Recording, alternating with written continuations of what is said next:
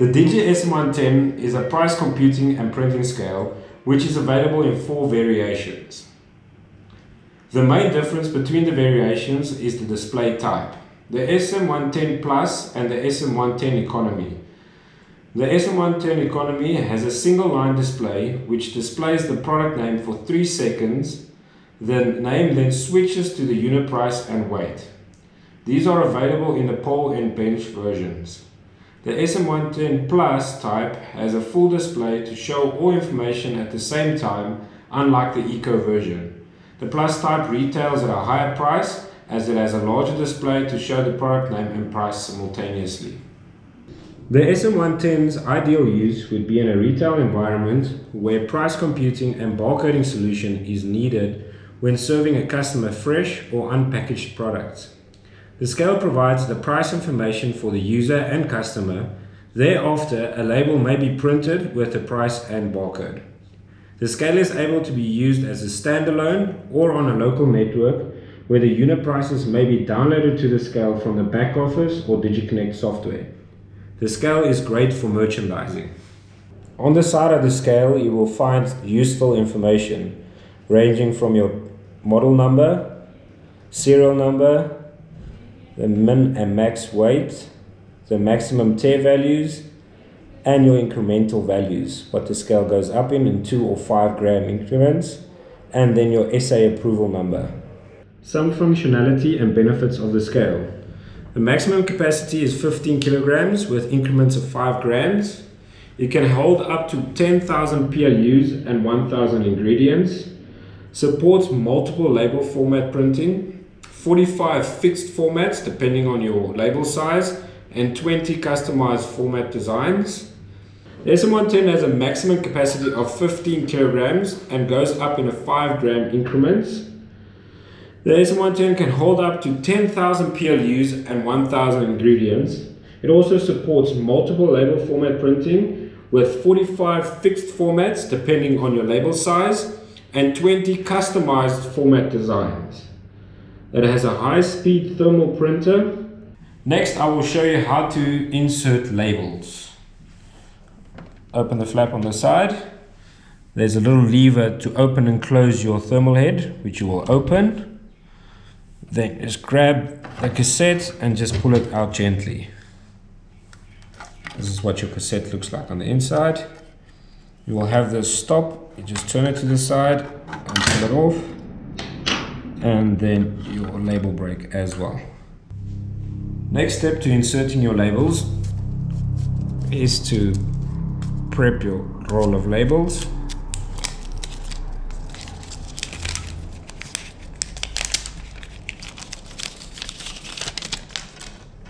Next step to inserting the labels, you take your roll of labels, just make sure there's a little piece rolled off, put it over, and put it in between the two metal bars and the plastic guide.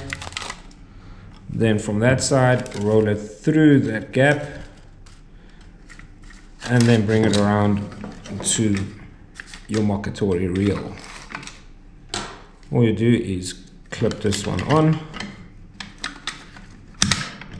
and same with the other one just put it in the middle with the guides and there your labels are set now putting your labels back into the scale firstly please make sure you set your guides the label guides to the so that your label just fits in so it guides the label back in and then as you would just slide the cassette back into the into the machine and close your thermal head. And that concludes putting in your labels. SM110 from the front.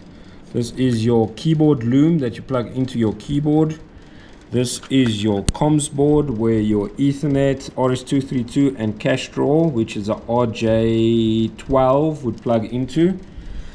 This is your power switch. You see your fuse and your power switch over there that feeds into your power supply.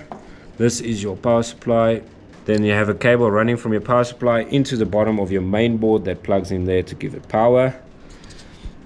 Then you have your AD board, which converts your weight to something that a human can read. Uh, this is the load cell. This is the SM110 power supply. Uh, common power supply issues you might have is as soon as you print a label, the scale would only print half a label and then switch itself off. Uh, that means that the, the power supply is not supplying enough power to all the components. Uh, the other thing you can check underneath by the power switch there is a fuse box there. So you can check if your fuse has not blown. That would also give power issues. This is the load cell. It's a 30 kg uh, rated load cell but it only goes up to for 15 for the specific scale. If you do receive or you do get um, uh, weighing issues you can check if you open the scale to see if there are no cables actually touching the load cell because that would also uh, affect your weighing your weighing accuracy. And just to check in general if there's no obstructions or anything on the load cell. Uh, this is the AD board that connects your load cell to your scale. So it comes there's a cable running from the load cell goes gets soldered onto the, the AD board and then from the AD board there's a cable that goes into your main board that converts your basically gets your converted data to show you what is actually weighing on the scale. Common issues with this, uh, cables that break off, um, that gives you weird uh, readings that will run up and down or no reading at all.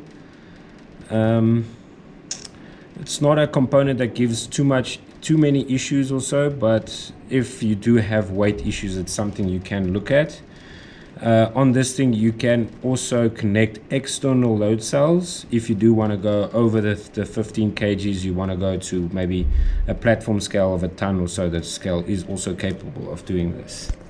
Uh, the next part will be your sensors. That sensor over there is your gap sensor. Always make sure that your paper runs through that when putting it in the cassette. Uh, you will see there's a little blue uh, screw point there that you can adjust your voltage on the on the sensor if needs be if you are having issues with the scale not picking up the gap. Um, we'll add that to another video at a later stage how turning that will indicate your your voltages running through your sensor. Then the next sensor is your peel sensor to make sure that there's no labels that are stuck or uh, obscuring the label feed which is, sits at the bottom of the, the cutter. Uh, that's just for for the scale to make sure that you have peeled the label the last printed label. And then the last sensor you have is your thermal head open and close sensor. It's this little sensor over here that indicates when your thermal head is open or closed. With the gap sensor, uh, you can bypass it with a spec if you are experiencing issues with label peel sensor or if you do not use the take up reel in the cassette and you just want the labels to feed out the front that's also a sensor that you can disable for bulk packing uh, etc if needs be another thing to look out for is the two screws on the top of the thermal head. When you do have uneven printing or faded printing, uh, those are the two screws that you can check. Uh, what you do is to put uh, your labels in while it's there, just open the thermal head and close it. You'll see your little thermal head goes down. If you look from this part, goes down onto your rubber roller. So that if you have faded printing, it means this is not lined up with your rubber roller at the bottom.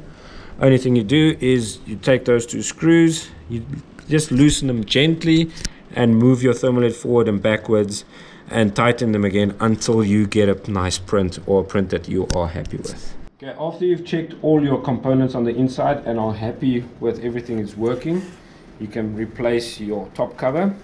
You'll see there's a little hole there for your earth screw. Please remember to do this or you will damage the scale. It will short and some of the components might even blow.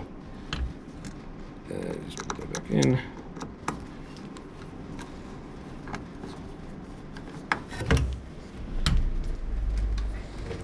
And the next part is just plugging in your keyboard.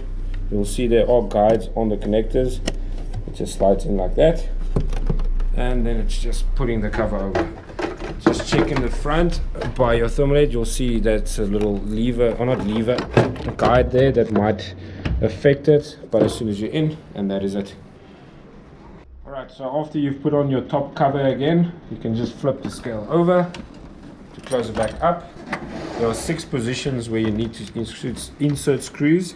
It's one there by the leg it's one here in the front then behind this little plate here there's one in that hole another one in this hole, one by the foot at the back, and another one at the foot at the back.